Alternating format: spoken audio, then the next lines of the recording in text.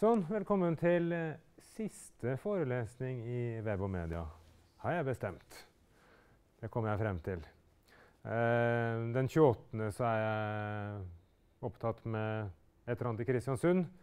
Og den 21. så tror jeg bare vi tar en ekstra lab for de som har behov for det.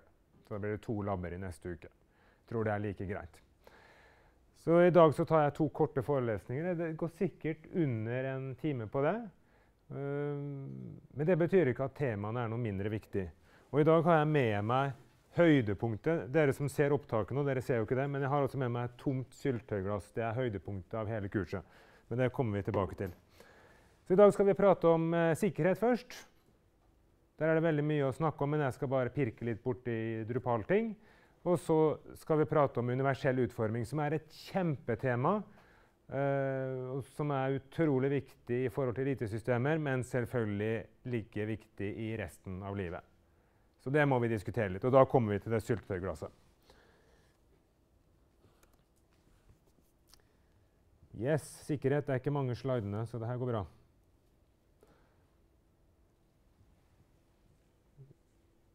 Så med tanke på sikkerhet når det gjelder IT-systemer, så vet jo dere at det er noen ting som er problematisk. Det ene er når informasjon kommer på avveie, altså når noen bryter seg inn. Også kjent som hacking eller cracking. Eh, og det andre er når folk misbruker systemet ditt. Enten ved at de har kommet seg inn, eller ved at det er på feil på systemet ditt. Og misbruk det er typisk utsending av eh, søppel-e-post og eh, publisering av innhold som du ikke ønsker. Eh, eller bruk av nettstedet som du ikke er klar over. Altså det er publisert noe som du ikke er klar over.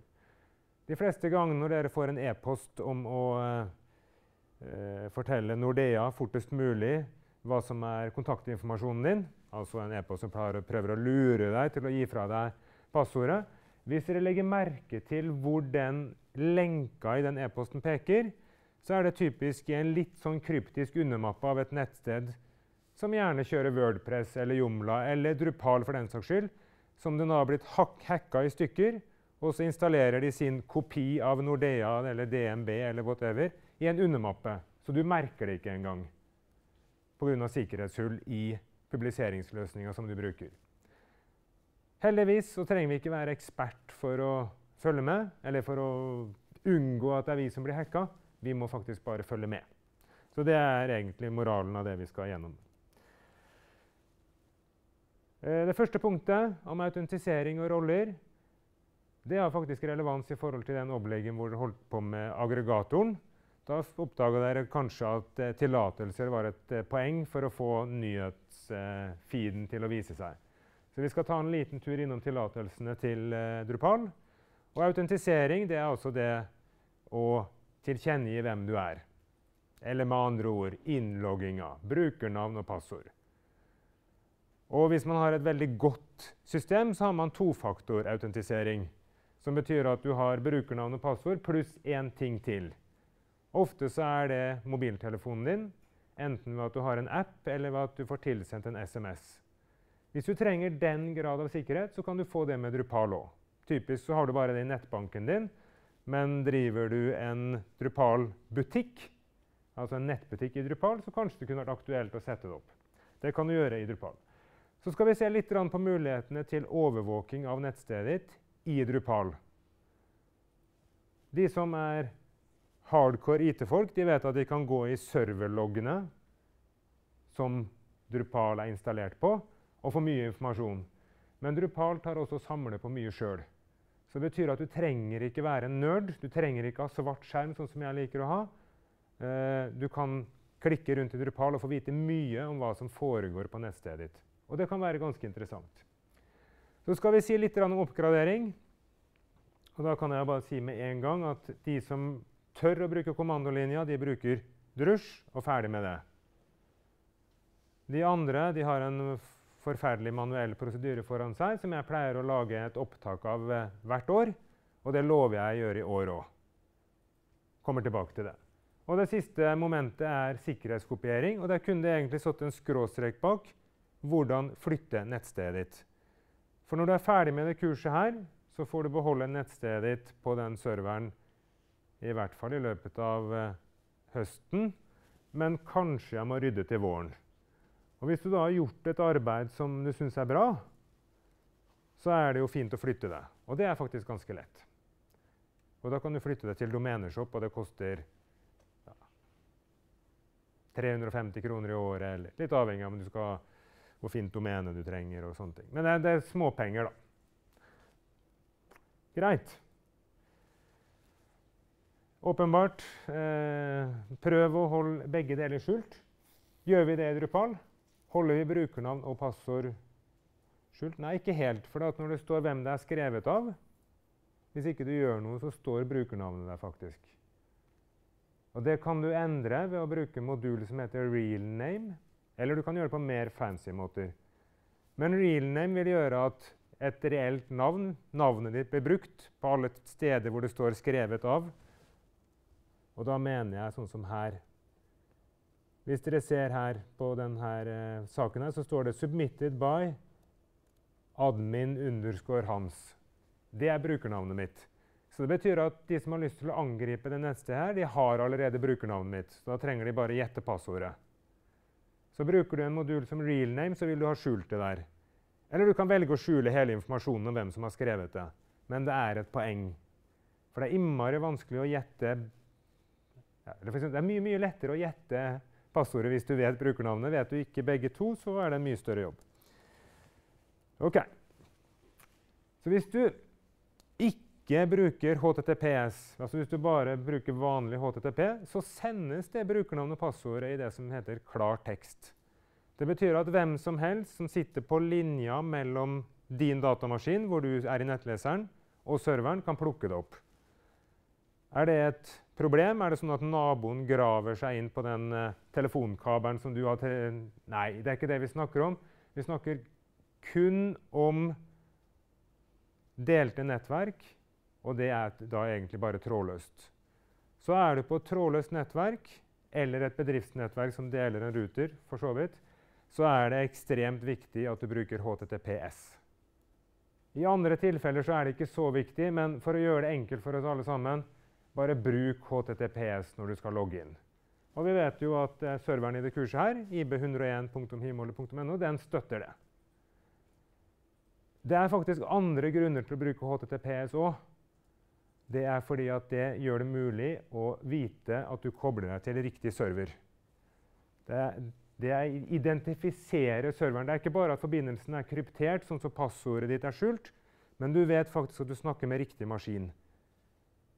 Så når du søker på Google, f.eks., så vet du at det er Google du søker på. Det er ikke at du trenger å logge inn med Google-kontoen din, men de bruker allikevel HTTPS for å kunne identifisere serveren.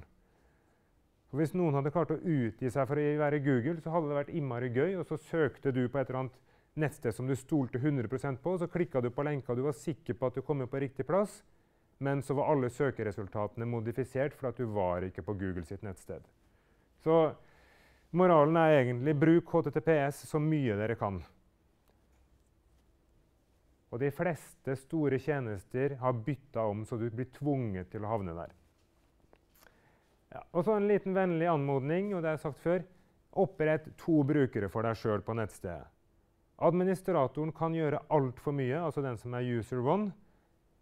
Ikke bruk Dere ser at jeg gjør det samme, men det er faktisk god strategi. Ikke bruk den til vanlig. Hvorfor det? Jo, for hvis det er et sikkerhetshull, og noen klarer å finne ut en måte å lure deg til å klikke på ei lenke Hvis du gjør det som user one, så kan det skje hva som helst. Hvis du gjør det som en annen bruker som du har kalt redaktør, eller whatever, som har mindre rettigheter, så er det ikke sikkert at det skjer noe som helst. Så hvis man skal være litt sikker, så lager man en bruker til. Og så bruker man den i det daglige, og så bruker man user one bare når man skal slå moduler av og på. og sånn dill-dall. Og så er det et poeng å prøve å begrense rettigheter så mye som mulig. Og nå er det litt sånn da, at eh, Når Drupal aktiverer modul, så slår den ikke på alle rettighetene. Det var derfor aggregatormodulen når du skulle vise nyheter, ikke virka.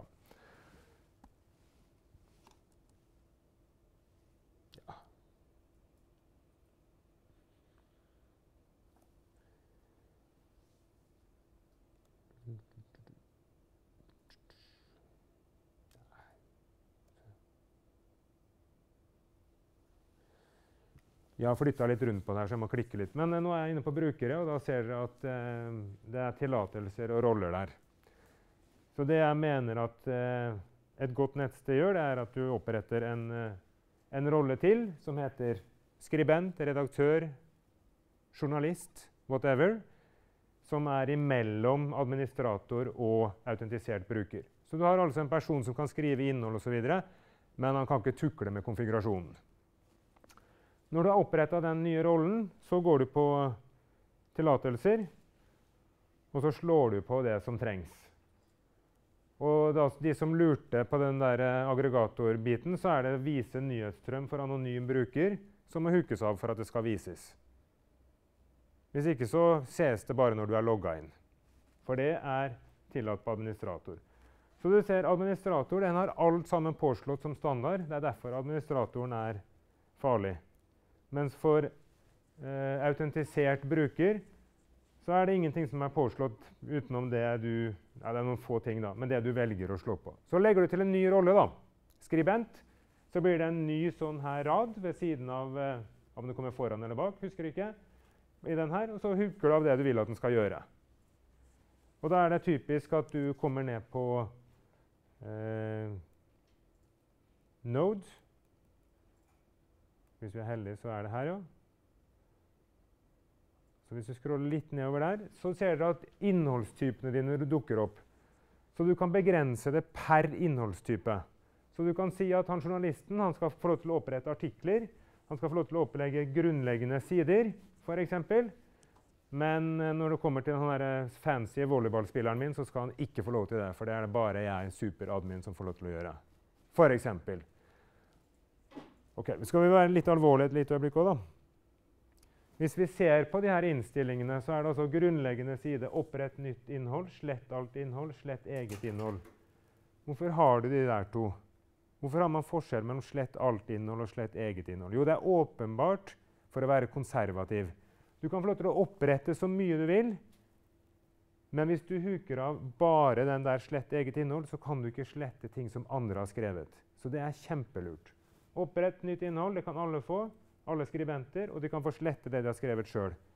Men det er ikke lurt å gi slett alt til en vanlig skribent.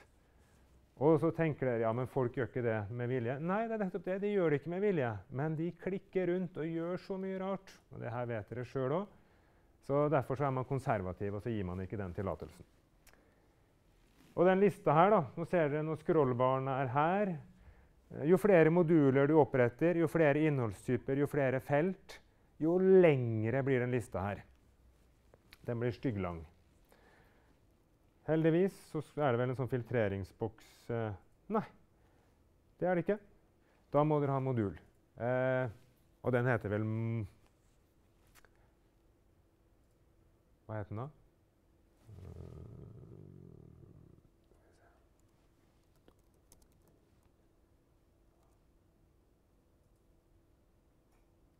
Bom. Orker ikke å finne ut akkurat nå. Dere kan lete sjøl etterpå. Eller så kan vi legge en liten lenke på, på Facebook. Men det er rett og slett en modul som lar deg filtrere tillatelseslista på akkurat samme måte som du kan filtrere en hel masse andre lister. Utrolig praktisk når du har det oppe. Og jeg vet det egentlig. Det har bare jernteppe akkurat nå. Greit. Så nå er vi enige om at eh, vi logger inn med HTTPS. Vi kan prøve å skjule brukernavnet hvis vi er lure. Vi oppretter en egen rolle, og vi passer på at den rollen har ja, akkurat de rettighetene han trenger, men ikke noe mer. Da har du satt opp Drupal på fornuftig vis. Da har du gjort det du kan for å gjøre at Drupal i vanlig drift ikke er farlig. Men hvis du har masse folk, så er det ikke gitt at uh, du har oversikt over hva de skriver. Og hvis du tillater kommentarer, så er det også ikke gitt at alle kommentarene er av den vennlige sorten. Um, så da kan man uh, følge litt med på det. Og så skal vi ta oss en tur innom loggen. Jeg vet at noen av dere har vært der før, men vi skal vise det litt. Forresten, når det gjelder det her med spam, så er det masse moduler som stopper det. Alle de der som heter CAPTCHA, som er basert på Eh, at man skal prøve å detektere om du er et menneske eller ei. Men du har en annen modul som heter honeypot, eller honningkrukke på norsk, som er veldig fin. For den lar deg slippe å plage brukerne dine med å prøve å se hva det der forvridde tegnet er, som det er nesten umulig å se hva er. Og det som er, det er faktisk sånn, det som er enda artigere, det er at mange av de CAPTCHA-løsningene så er faktisk datamaskiner bedre til å løse de enn vi folk. Som betyr at du installerer en sånn CAPTCHA-modul og tror at alt sammen er fint og greit, men de gode hackerne de bare lar datamaskinen si kverne gjennom det, og så er det gjort. Og det gjelder faktisk eh, ReCAPTCHA fra Google også. Den er knekt. Så de beste spammerne de kommer seg forbi det der. Og så er det selvfølgelig veldig irriterende når du gjetter feil femte gangen du prøver å se om det der, hva slags bokstav var det der. Ja, loggene var det vi skulle se på. Eh, rapporter heter det. Siste loggmeldinger. Det er en artig plass å være. Jeg skal risette den. Sånn. Hvis ikke du gjør noe som helst, så ser det sånn ut. Det er masse forskjellige typer nedover. Og så står det klokkeslett, kronologisk selvfølgelig, og så står det en eller annen melding. Og så står det hvem som gjorde det. Og hvis det er noen som prøver å bryte seg inn, altså logger inn med feil brukernavn og passord, så kan du få IP-en opp her òg hvis du vil. Så du kan se hvem som prøver å angripe deg. Det tror jeg ikke er standardfunksjonalitet. Men den lista her den blir veldig veldig lang. Og så eh, ser dere at jeg har veldig mange feilmeldinger her på PHP. og så står det 'warning, warning unlink', bla, bla, bla. Hvis dere har de der, så betyr det rett og slett bare at det er feil eier på en fil. Og det kan skje hvis dere er sånn som meg og bruker Drush. Så kan rush gjøre at du oppstår det problemet der. Og det er egentlig noe som du kan ignorere. Det, det, gjør ingenting. Det betyr bare at den klarte ikke slette filene, men det, gjør, det er ikke noe farlig heller. Det er midlertidige filer som bare ligger der. Men de som syns det er irriterende, de kan ta kontakt med meg, og så skal jeg vise dere at man kan komme rundt det. Det er rett og slett at eieren er feil av fila. Men for å redusere og gjøre det litt mer oversiktlig, så bruker jeg som regel filtrer loggmeldinger. Og da er det typen som er spennende.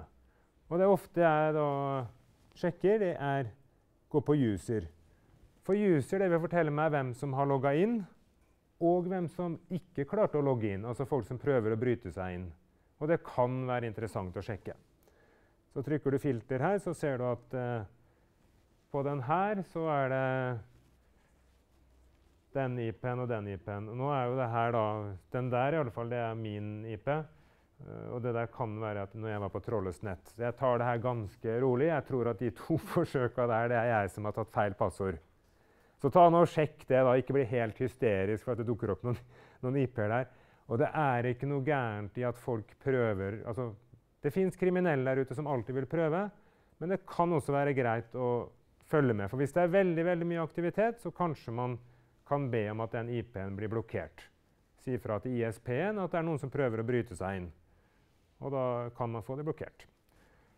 Eh, her kan man da også sjekke på innhold, f.eks. Hva er det som er oppretta eller sletta av innhold i det siste? Og det her er litt interessant, for når innhold blir sletta, så er det jo fjerna fra innholdslista. Du vet ikke om det. Men det blir i hvert fall logga. ikke sant? så vet du at noen har eh, styrt på. Så det var logging. Det andre som er lurt å sjekke, det er å gå på innhold, og så gå ned på kommentarer.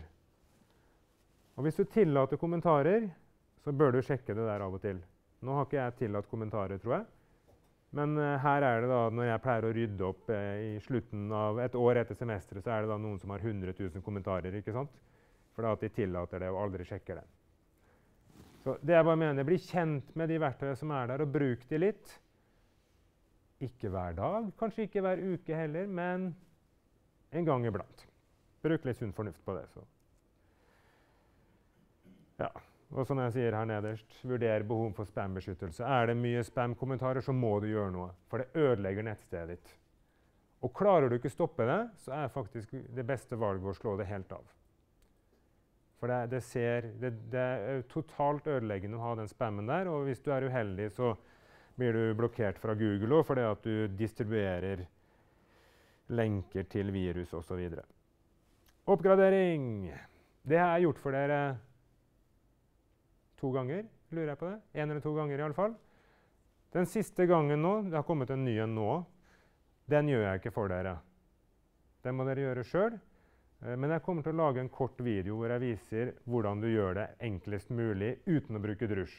De som bruker drusj, de bare drusjer i vei og ferdig med det. Men poenget er at det kommer oppgraderinger hele tida. Noen av de oppgraderingene er kjempeviktige.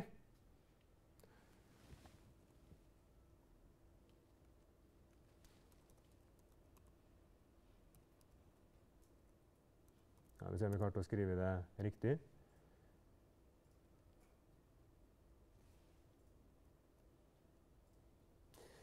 Det er et begrep som heter Drupal drupalgeddon.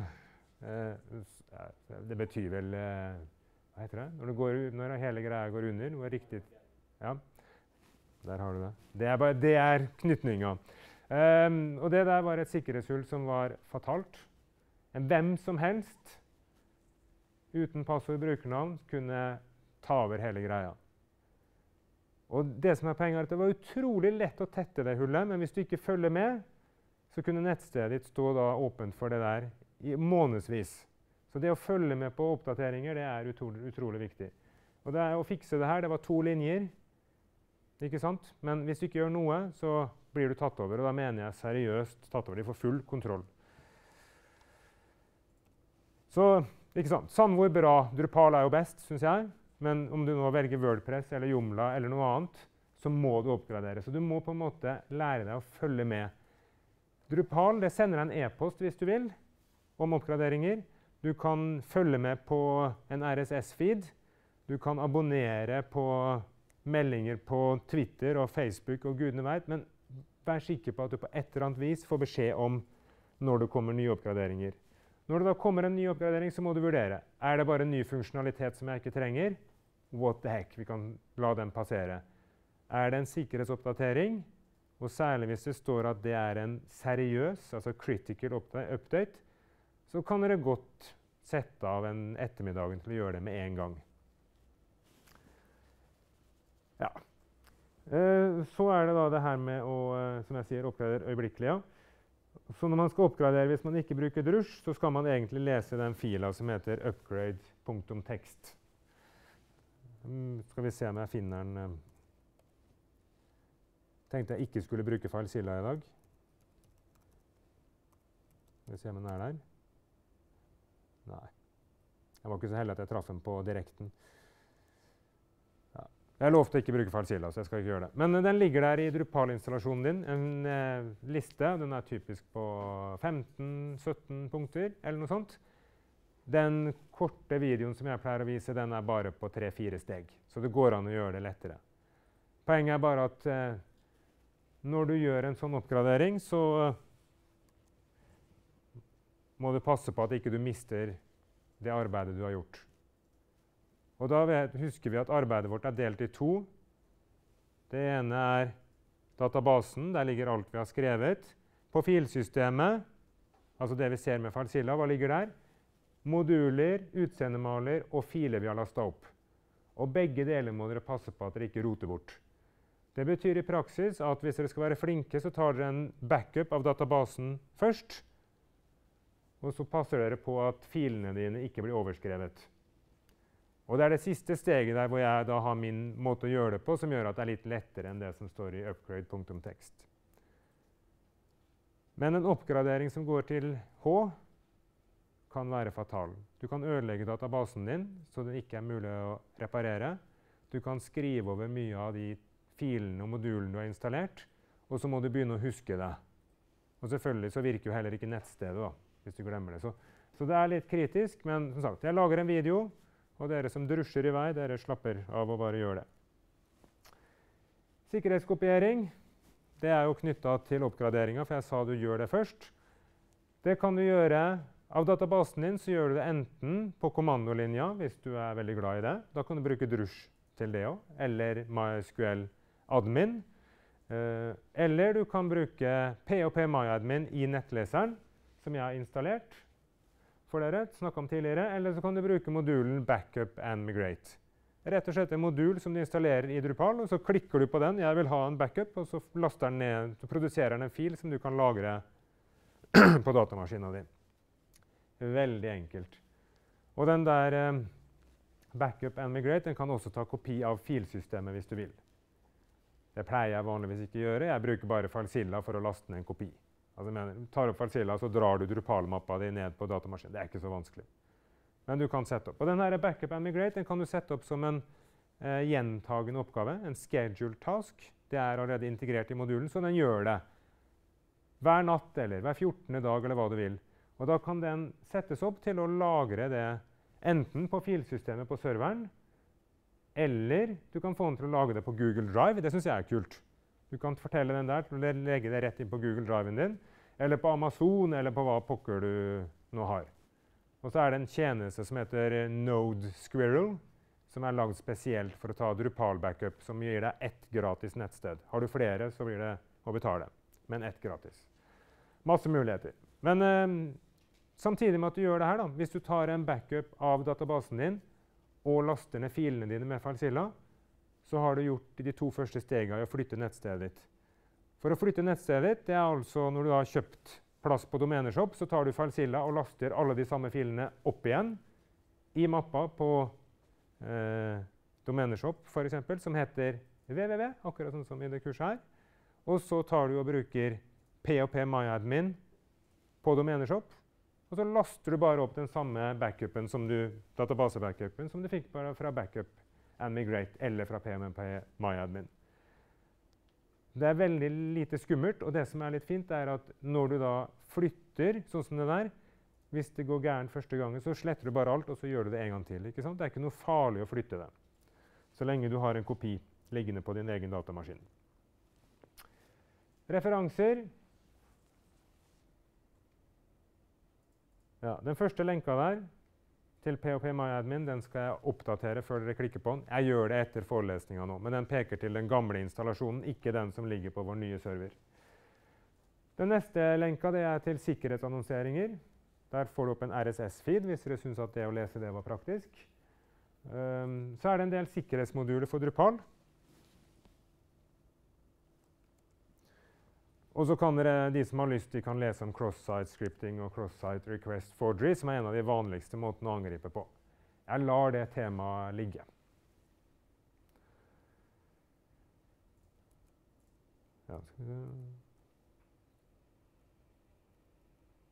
Så det, her, det vi har satt opp nå, det er et søk som har om kategorien security.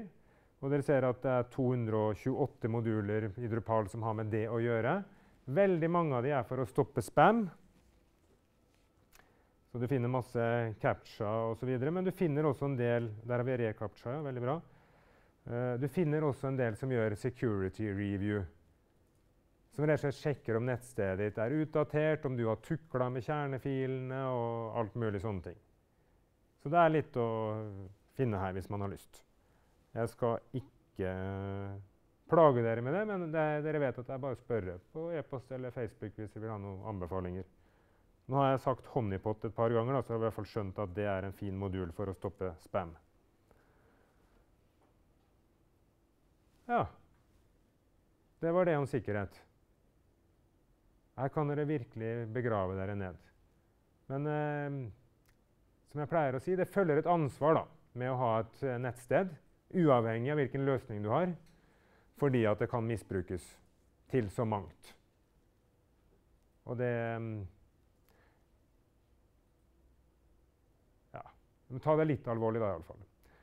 Det er én ting dere slipper å tenke på, og det er om eh, brukernes passord blir eksponert. Der vet jeg at Rupal bruker eh, up to date eh, krypterings- og hashingsalgoritme, sånn at Passordene som dine brukere legger inn i systemet, de er sikre. Men dere har sikkert hørt om en del andre nettsteder som har blitt hacka, og så har en million passord blitt spredd på nettet. Og Det er litt ubehagelig, for mange av oss har en uvane med å bruke samme passord overalt. Det der vil ikke skje med Drupal. Passordene er lagra i en form som gjør at det er ekstremt, ekstremt vanskelig å få de tilbake. Så selv om de bryter seg inn, får tilgang til hele databasen din, så klarer de ikke å få ut passordene likevel. Som er fint, for det betyr at du kan bruke favorittpassbordet ditt i Drupal likevel. Yay. Greit.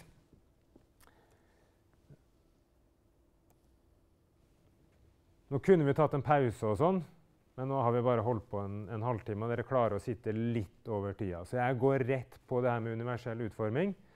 Uh, og der vil jeg på en måte bare gi dere en, en smakebit på hvorfor, uh, ja, hvorfor vi skal tenke på det, og hva er nå egentlig det her. Og da skal jeg sende rundt det, Dere som ser opptak, dere ser jo ikke det her, men nå sender jeg altså rundt et tomt eh, blåbærsyltetøyglass. Alle sammen skal få lov til å se på det. Ikke lenge, for vi, jeg skal ikke avsløre hemmeligheten ennå. Um, så du får ti sekunder før du sender det til nestemann. Så må dere ikke hive det så veldig langt, for det er ikke sikkert dere klarer å ta imot.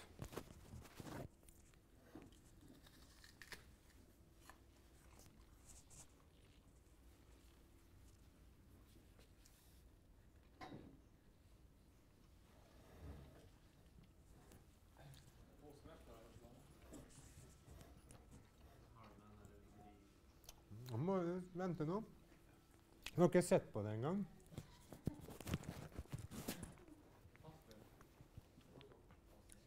Nei, det skal vel gå Jeg tror det skal gå opp. Ja, jeg gikk opp.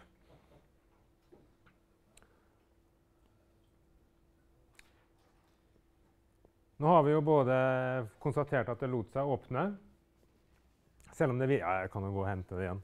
Det er nå vi skulle ha kasta det, vet du. ja, ikke sant? Nå blei vi litt avslørt av en her som sa har det noe med ringen å gjøre. Og da gidder jeg ikke spørre. Ja, det som er spesielt med det glasset her, det er ringen. Hvis dere åpner det, så ser dere at den ytterste ringen er frikobla fra lokket. Det er det som gjør at det lokket her er latterlig lett å få opp. Selv når det er litt vakuum inni, så klarer tante Olga eller bestemor Bente å få det opp. Eller min datter på ni år. Eh, det hun har lært seg, er at når du ikke har sånne her lokk med den dobbeltringen, så står hun og kakker for å få en liten åpning, sånn at vakuumet forsvinner. Og det er klart Man kan lære seg sånne triks. Andre triks er jo å holde glasset under varmt vann.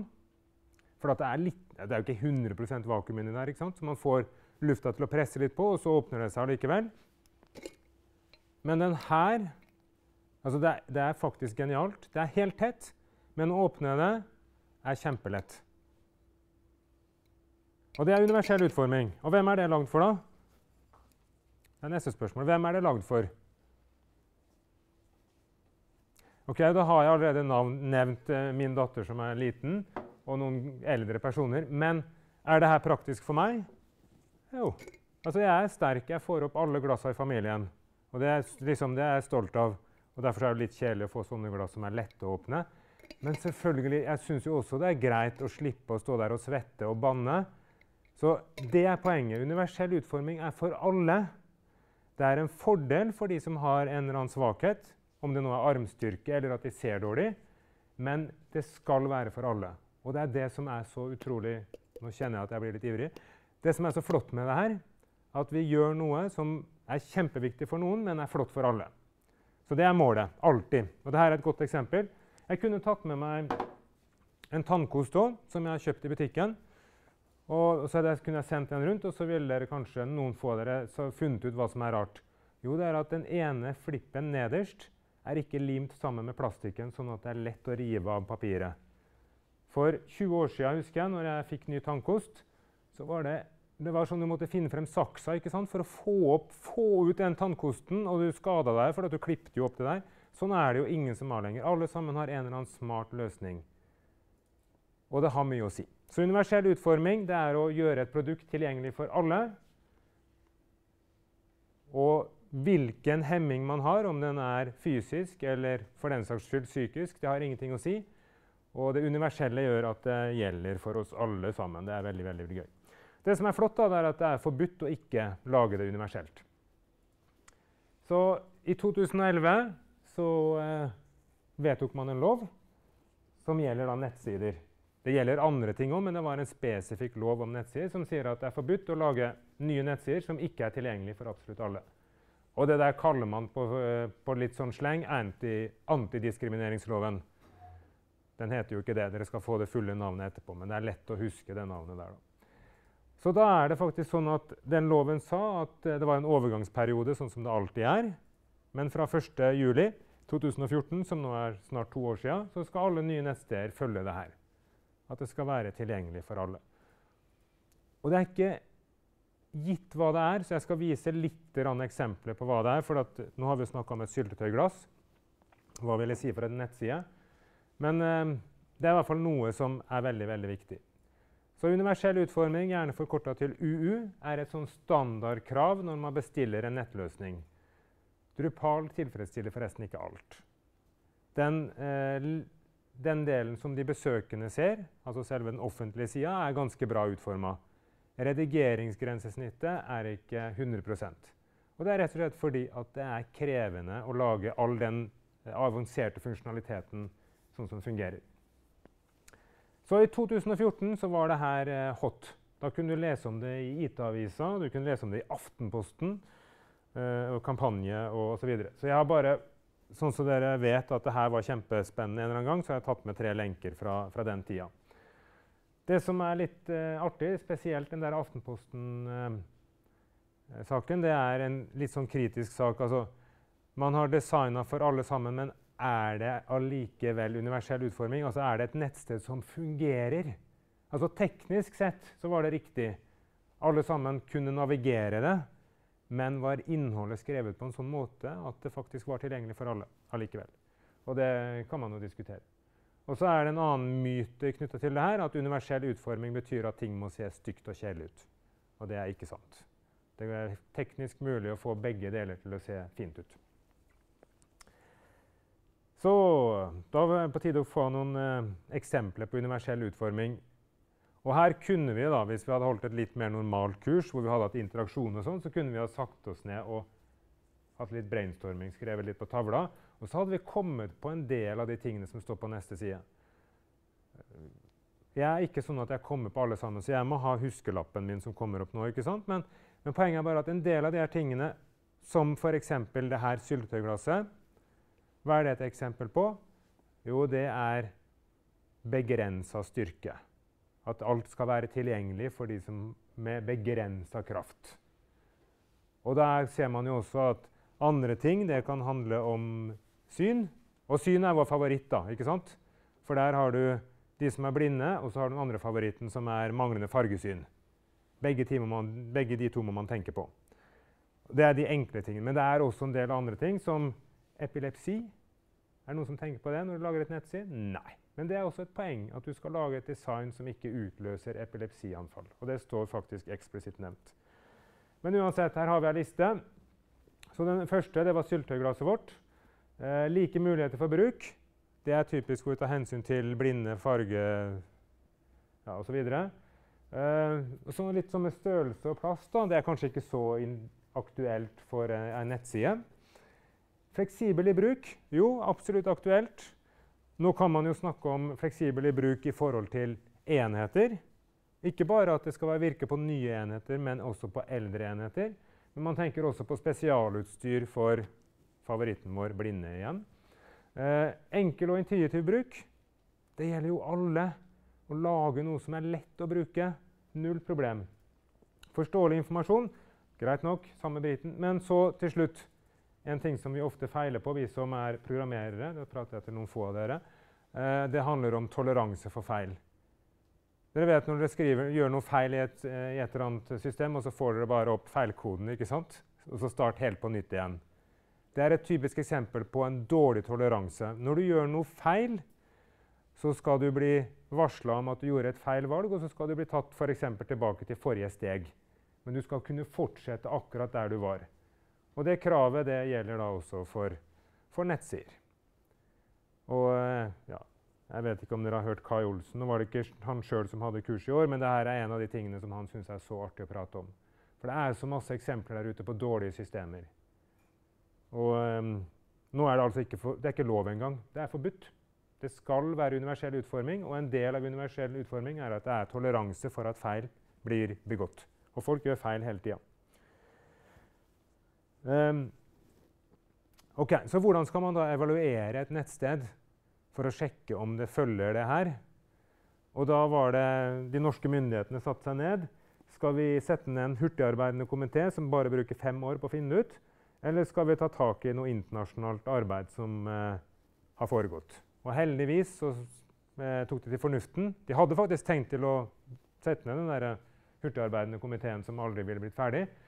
Eh, men så skjønte de at det, det, blir for dumt. Så de tok altså tak i de internasjonale retningslinjene fra WAI, Web Accessibility Initiative, som er en gruppe av store organisasjoner og frivillige som har jobba med det her i lengre tid. Og de har eh,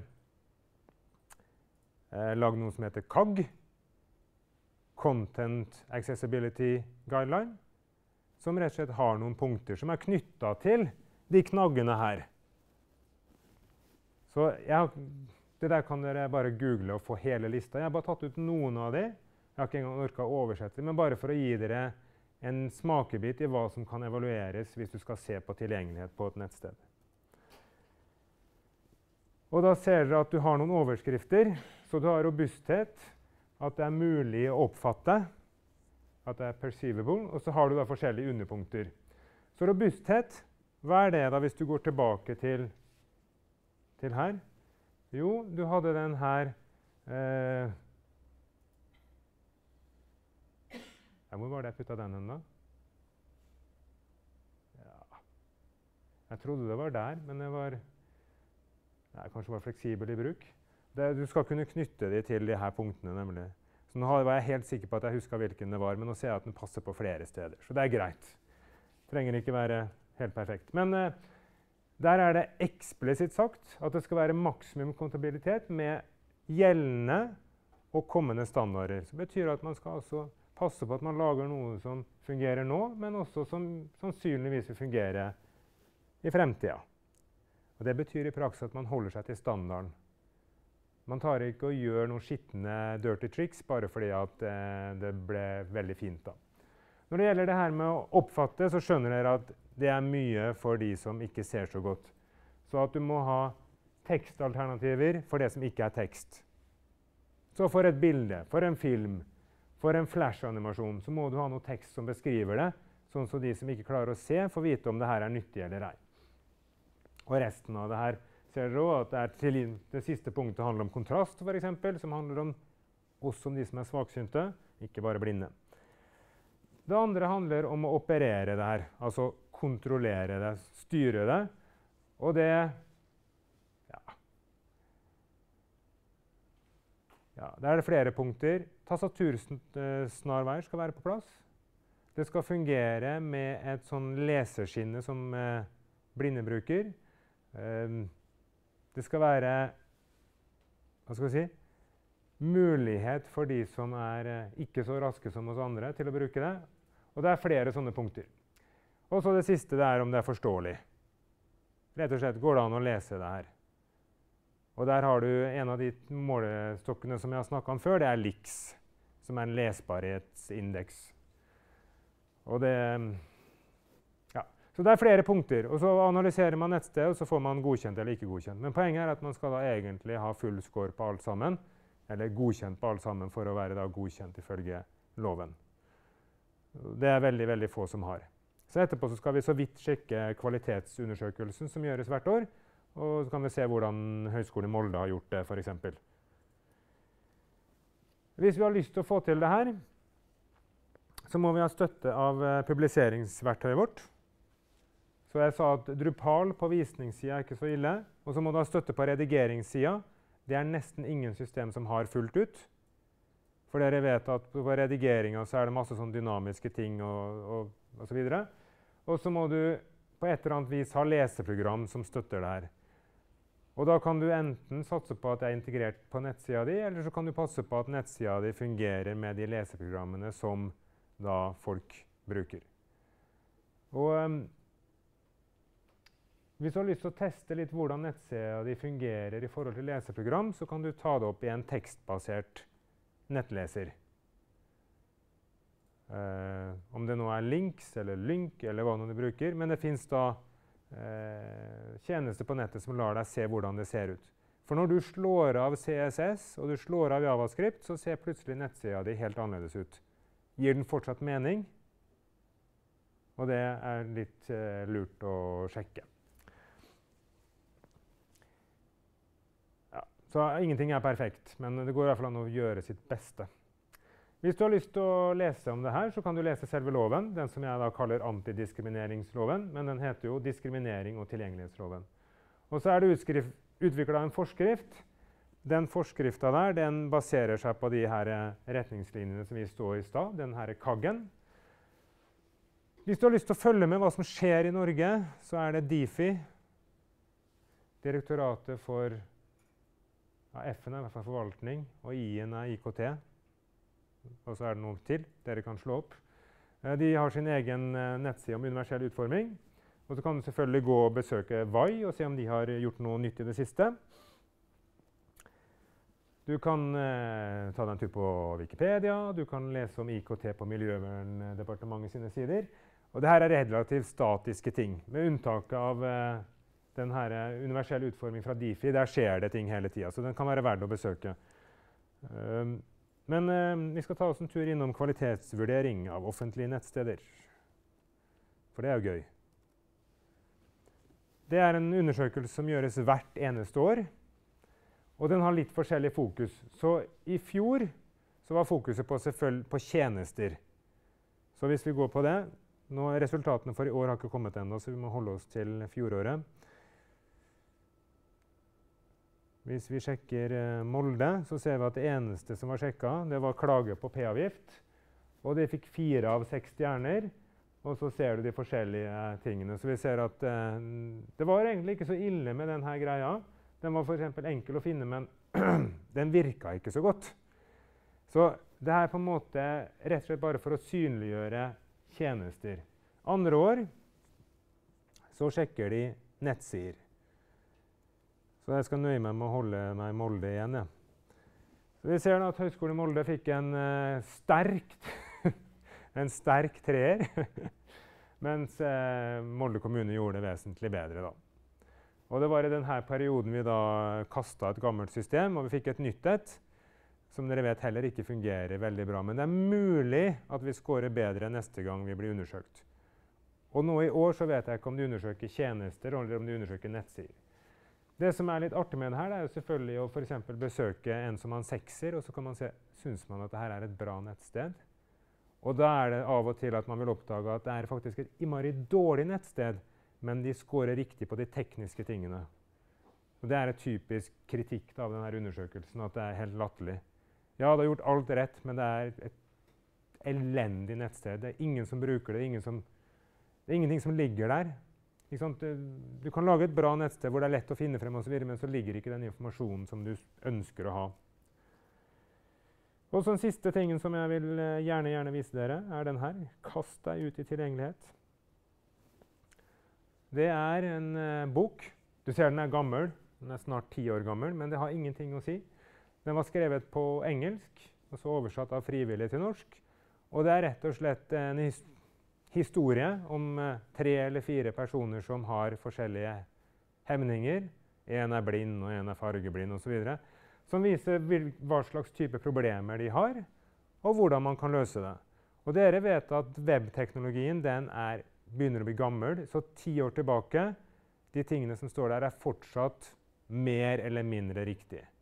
Altså Kommer det et tips her, så må dere selvfølgelig sjekke at det ikke er helt staurgale. Men mye av det gjelder fortsatt, og spesielt tankesettet. Så jeg syns det der var, eh, var, artig å lese om. Så poenget er bare at selv om jeg nå gjør meg ferdig og prater om det her på 20 minutter, så er det mulighet for dere å sette dere inn i det som dere er interessert i. Om dere nå er litt sånn jusinteressert og har lyst til å se hva som står i loven, eller om dere er litt mer teknisk orientert, eller om dere syns det bare er litt spennende å se hvilke nettsider som scorer bra, og hva er det de har gjort som er, er riktig riktig og bra. Og da mener jeg at um, jeg faktisk var på siste sliden. Det var jeg. Mm. Og Som vanlig så åpner vi ikke for noen spørsmål. Her er det diktatur. Så da gjentar jeg. Det var siste forelesning. Innmari kjekt med dere som har vært her eh, regelmessig. Artig å treffe dere på laben òg. Så neste uke så tar vi altså lab som vanlig på tirsdag. På torsdagen i forelesningstida fra 12 til 2, hele to timer, så blir det lab i det rommet her. Det betyr at du må dra med deg laptopen, eller vise på min laptop hvis du trenger hjelp til noe spesielt. Og det blir siste uka med organisert undervisning. Så uka deretter så Det er mulig Lars kommer av gammel vane. Han hender, hender han gjør det. Men eh, da satser vi på ingen undervisning. Men vi bruker Facebook og e-post osv. for å komme oss i mål. Ja, takk for følget. Og da slår vi av opptaket.